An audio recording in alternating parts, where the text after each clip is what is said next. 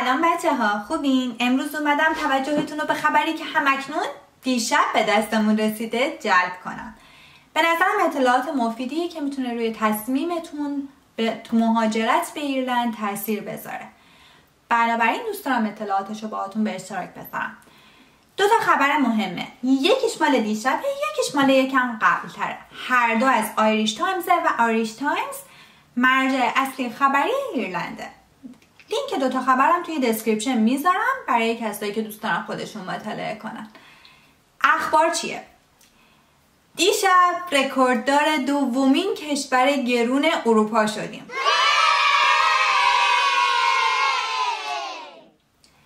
خبر بعدی چیه؟ ایرلند سیزدهمین کشور دنیا برای زندگیه از نظر هزینه های مختلف زندگی.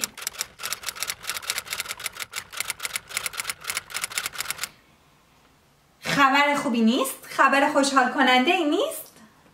ولی دوست دارم هم در مورد جزئیاتش بیشتر با هم صحبت کنیم هم تهش ببینیم آیا ارزش داره موندن و اومدن اینجا یا نه.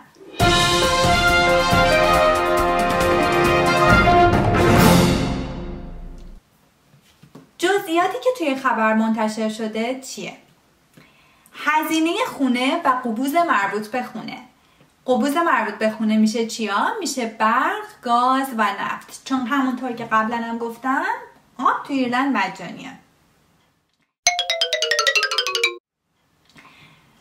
توی هزینه اجاره خونه و هزینه خرید خونه بالاترین رتبه گرونی تو اروپا رو به دست آوردیم و چقدر بالاتر؟ 78 درصد بالاتر از میانگین اروپا. یعنی خبر جلوی منه و 78 درصد عدد خیلی بزرگیه بچه ها واقعا من خودم شوکه شدم چون از کشورهایی مثل لوکزامبورگ، نروژ، هلند، فنلاند ما بالاتریم.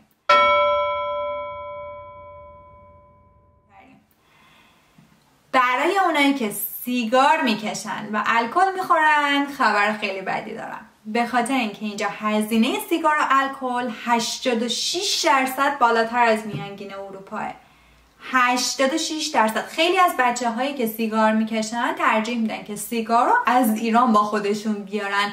البته وقتی که مرزهای ایران به روی ما ایرلندی هایی که ساکن اینجایی الان نه ایرلندی ها ماهایی که ساکن ایرلندیم باز بشه. هزینه مواد غذایی هم گفتن بالاتره ولی نگفتن چقدر و منم آمار اطلاعات دیگه ای ندارم که به اشتراک بزنم. ولی یه چیزی که گفتن اینه که هزینه مواد غذایی خیلی به استاندارد میانگین اروپا نزدیکه.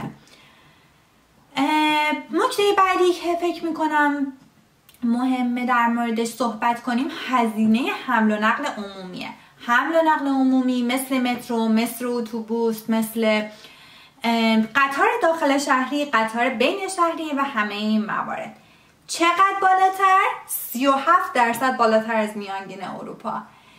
هزینه تلفن و به تب اینترنت 40 درصد گرونتر از میانگین اروپا.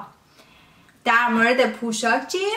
در مورد پوشاک دوازدهمین رتبه رو توی گرونی بین اروپا به دست آورد خب خبرهای خوبی نبود و یه خبر بعد دیگه هم دوست دارم بدم در ادامه. خبر بعد دیگه اینه که امازون توی ایرلند شعبه نداره. امازون توی ایرلند کلی headquarter داره ولی انبار نداره. و یا شما یعنی شما amazon.ie نمی‌بینید اگه سرچ کنید. و باید از amazon.co.uk سرچ کنید. و حالا خبر بد چیه از وقتی که برکسیت شده یک میزانی به عنوان import fee به مبلغ خریدتون اضافه میشه. حالا فرض کنید شما دو تا باخت دارید می‌دید. باخت اول وقتی که داره هزینه از پوند به یورو تبدیل میشه یه transaction fee دارید و یه هزینه انگار گمرک و مالیات دارید. و من حساب کردم اون روز انگار مثلا حتی تو Prime Day که خیلی چیزا half price شده بود انگار 46 درصد 40 ببخشید 46 یورو save می‌شد. بعد اگه من همون کالاها رو از اینجا میخریدم حتی بازم می‌تونستم 20 یورو بیشتر save کنم. چون اون 46 یورویی که داشت save می‌شد با هزینه گمرک و مالیاتی که می‌خورد از بین می‌رفت. در نتیجه ارزششون نداشت.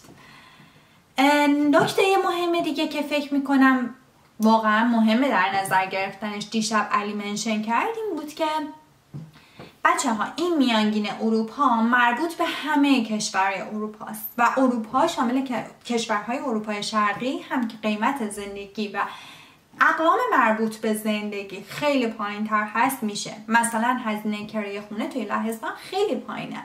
یا هزینه زندگی خیلی خیلی توی کشورهای اروپای شرقی پایین تره بنابراین این میانگین اونا خیلی میارن پایین. ولی بازم اصلا به نظر من 78 درصد بالاتر برای اجاره خونه قابل قبول نیست.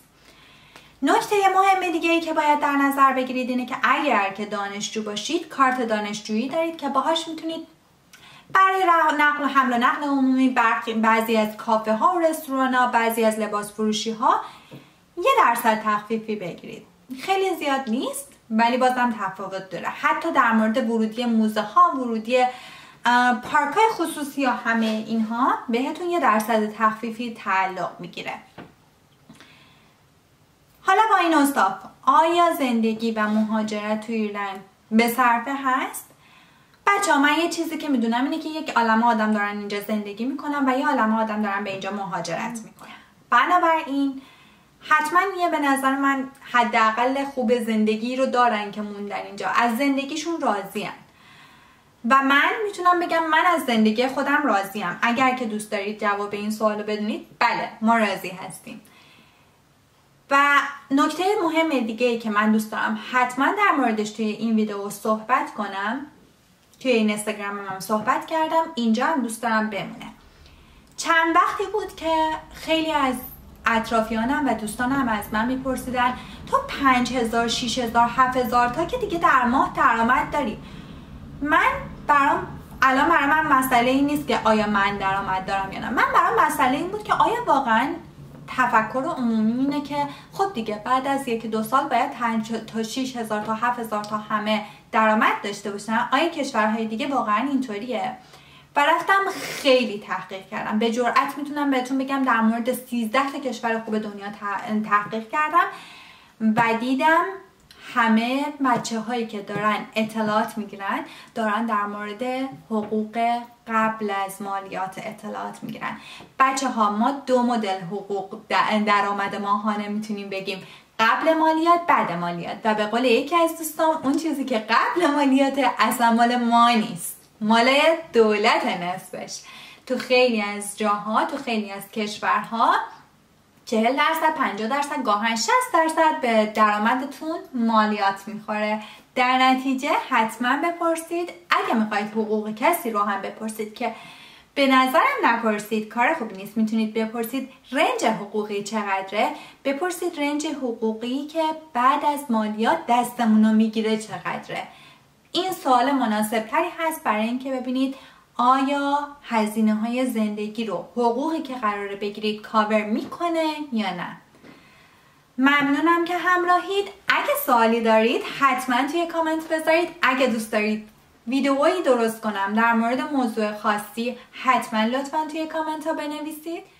اگر که احساس می‌کنید این ویدیوها براتون مفیده لطفا اگه subscribe نکردید subscribe کنید.